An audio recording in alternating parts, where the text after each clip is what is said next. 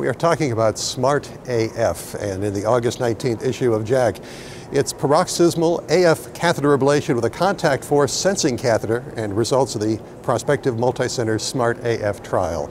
And I am with Dr. Vivek Reddy, who is Director of Electrophysiology at the Mount Sinai Medical Center. And okay, integrated contact force sensing catheter. First, let's talk about that, then the trial. Sure.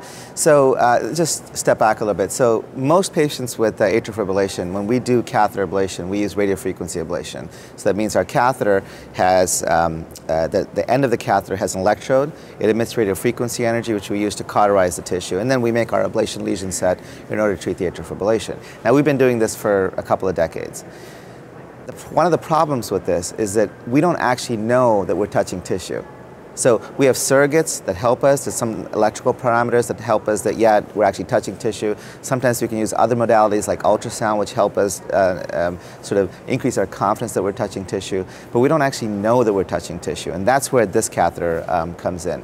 This particular catheter has a sensor in the tip so that you know if you're touching tissue and with what much with what force uh, you're touching the tissue and, and, that matters because that directly um, uh, affects how effective the lesion is because what we don't want to do is think we made a lesion and actually make an ineffective lesion because then the patients will come back with recurrences because that lesion was not complete so th this catheter is very similar to the regular catheters that we use uh, radio frequency ablation. It's cooled, that we, we cool the tip of it to make the lesions uh, safer. Again, that's similar to what we have. But, but again, this catheter has the force sensor. And um, uh, this particular study looked at the first use of this particular catheter in the United States. So you know when you're actually against tissue. That's right. And you know how much force you're touching the tissue. For example, let's say you're touching the tissue, but you have only one gram of contact a, a force of contact. Precisely. Then the lesion is not going to be a very effective lesion.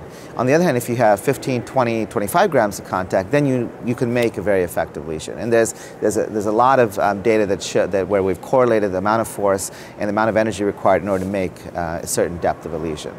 So in this paper in JACC, you're actually reporting on the SMART AF trial. That's right. The August 19th issue. Tell me about that trial. So this trial was the first United States experience with this particular catheter.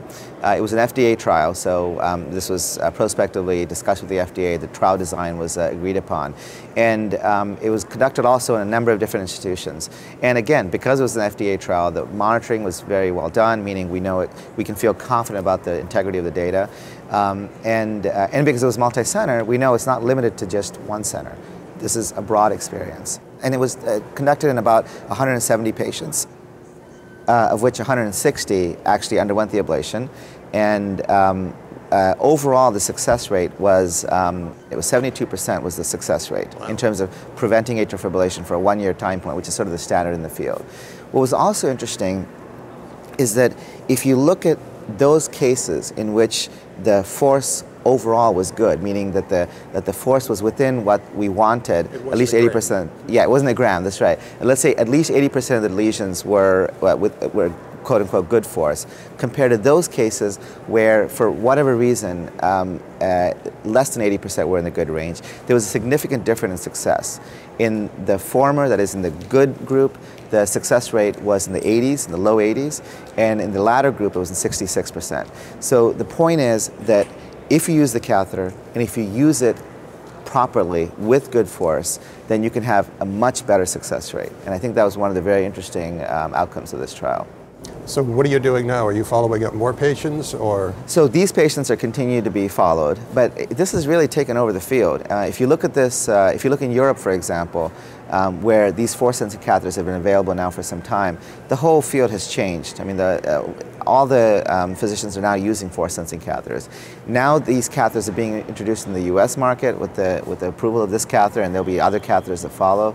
Um, and it's changed in the United States too. The majority of the cases we do now are with force-sensing catheters. Well, that's terrific, and I think that you know it's not only a creative solution, but the FDA has said they want more devices studied, and I yeah. think this is this is a good start. And it is in the August 19th issue of JACC. So if you want to read more about the Smart AF trial and this particular new device, please go there. For CardioSource World News, I'm Executive Editor Rick McGuire.